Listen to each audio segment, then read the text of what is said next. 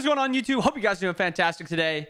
As you can tell by the title, today we're going to be talking about wards. We're going to be running through some popular wards, whether I think they are good, they're okay, maybe they're even bad, and then optimal places to ward at all points in the game. Whether you're going for early game, trying to defend yourself, you're playing for early game aggression, so you want the deeper wards, or maybe it's in late game and you just need to get some wards for objectives if you're playing on the aggressive or defensive. This is just going to be talking about wards. It's going to be a lot of saying the word ward. So starting with duo lane, the most popular ward for duo lane is somewhere in this area. It's usually a pretty heavily sentried spot. And I think it is a good ward. The problem comes down to it is very, very competitively warded sentried stuff like that. So if this is a heavily sentried spot, maybe you've placed a ward here and it's been sentried, don't ward here again. And we'll say we'll say that's my side over there and this is the enemy side.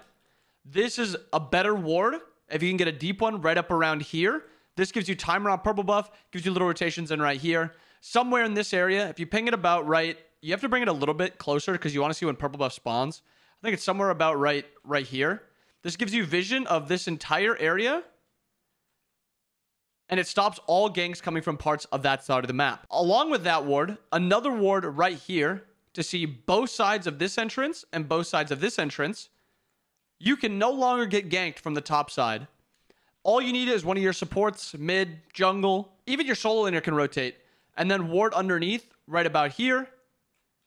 And now your entire side of the map is warded, and you cannot get ganked ever unless the enemy has a Mercury to come down lane or they jump this wall knowing you have wards here, here, and here, knowing all three spots. If they just know one of the wards, say they just know this one, this one's going to be a pretty common walk spot. If they just know this one, they're either going to try to walk over top or they're going to walk underneath basically makes you ungankable as an ADC, and it's good if you are in the lead. If you're behind, you're not going to be able to ward like that. A pretty popular ward spot when you're behind is right here. The problem with this ward spot on the defensive is if you're clearing at the halfway mark, right up about right here, and a jungler pings on that ward, you're not going to be able to get away. It's too late of a ward. You need to ward earlier so you can actually start running away. Imagine this is a, a Susano. You're not getting away from him. A Thor, he's going to wall you.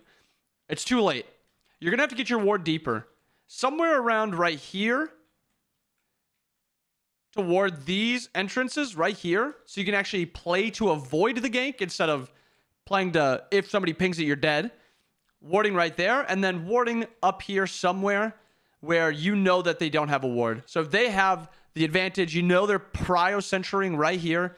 You're just to have to get a ward a little bit deeper. It's not to feel as good. A ward somewhere in this area, just on the other side, we'll say right about here, that covers this entire area will be very good. The only place you can get ganked from is right here. You won't know if the enemy's pathing to the blue, the purple buff, which is a little tough, but it is something you just kind of have to accept. It's not something you're going to be able to get all the time. You're sometimes going to have to default your wards to other spots. That was for ADC. Those are some wards for the ADC lane. For support, it's a little bit different. You're going to be playing kind of ward all over the map. Usually, he's going to chase me. Oh my goodness, man. Surely he doesn't chase me to backs, right? All right. Well, I guess I I have to stay away from the Agni. He's on mids right now. We gotta let him pass. Like I'm playing one of those sneak video games, and I, I gotta let him pass before I can I can walk up. This is a spot that's pretty commonly warded up here. I think that ward is fine, but a lot of the time it's not really catching anything. My favorite ward as a support is this ward all the way back here. Right about here so you can get timer on the green buff when it spawns, and you can also get the rotations coming out from this tier too. Now, it doesn't catch anyone coming from all the way back up here, and it doesn't catch anyone coming from over here, over here, but usually up here somewhere where your ADC wants to ward. So this this ward right here is really good to ping the the, uh, the green buff, know when it's up, and also when somebody's pathing here to try to get these back camps. I think another really good ward is either warding right on the back camps. I think warding so you know where the enemy jungler is, and he's going to be farming the back camps, is really, really strong. I also think the same as like the ADC. I think warding right around here is also very good to see this walking over here to an aggressive gank on your side of the map. Those are my three favorite supports warding spots. Usually you're warding left side, junglers warding right side, and then mids warding for them. Mid laners like warding right about here. I think this ward is fine for mid laners. I think it's bad for supports. So if you're a mid laner, feel free to ward that spot. If you're a support, probably don't ward that spot. Leave it for your mid. Nice, he died to my tower. Not have to worry about the bully anymore. So like I was saying, for mid laners, really good ward spots right around here. So you ward just on this side of the wall to see if somebody's walking in here into here or sitting kind of in this area. This ward will catch them like this. The only ward it won't catch is if they're sitting right around here, just kind of waiting to jump on you. So that's a really good ward. And then I think the other one is a really good entry ward from their side of the jungle by their jungler. In this area, I think is really strong. Or if you want to be a little bit more defensive, you can do it back here to like this. But if they walk around like this, they're going to be able to catch you out.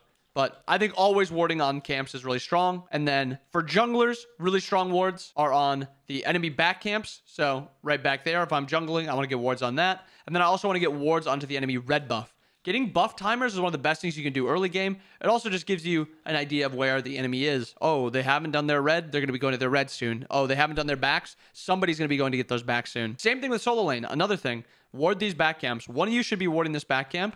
And then the other good ward, you can be warding just somewhere right here. I think this ward is fine.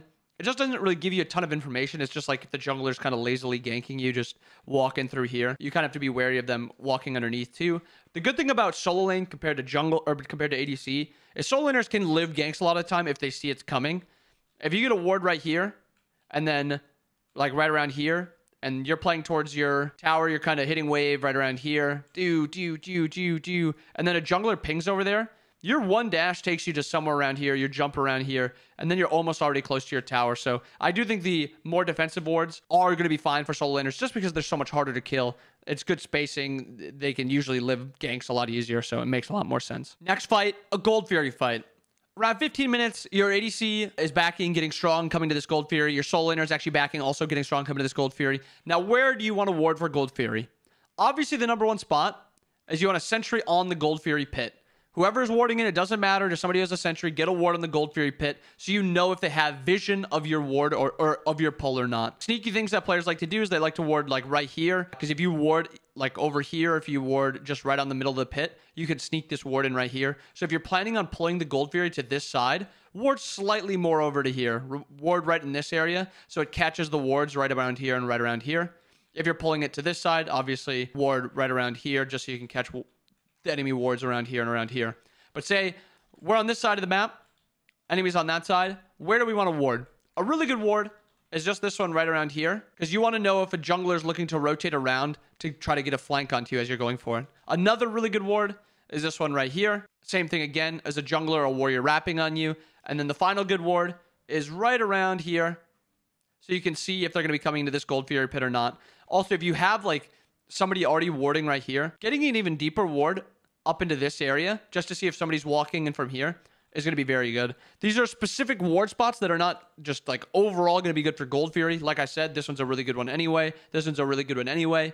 If you have these wards already, you can just go to the Gold Fury anyway. Just make sure you get a ward on the Gold Fury pit. Also, a small thing. If you're grouping for a Gold Fury or a Pyro or a Fire Giant and you don't have any ward vision down, it's slightly more prioritized for your tanks to get the deep rewards or your jungler to get the deep, deep reward. If you're playing mid lane and you're getting ready for Fire Giant and you walk up here by yourself to get a ward all the way up on their back camps to see them, not a great idea. Just wait for your team, let them ward deep. You can ward either on the pit or on one of these flank spots. But the next one to talk about Pyro. Say this is Pyro right now. Again, we're over here. That's the enemy over there.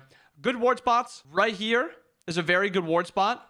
Right around right here. So it can see from about that spot to about this spot right here. Gives you very, very good line of sight if anybody's walking in.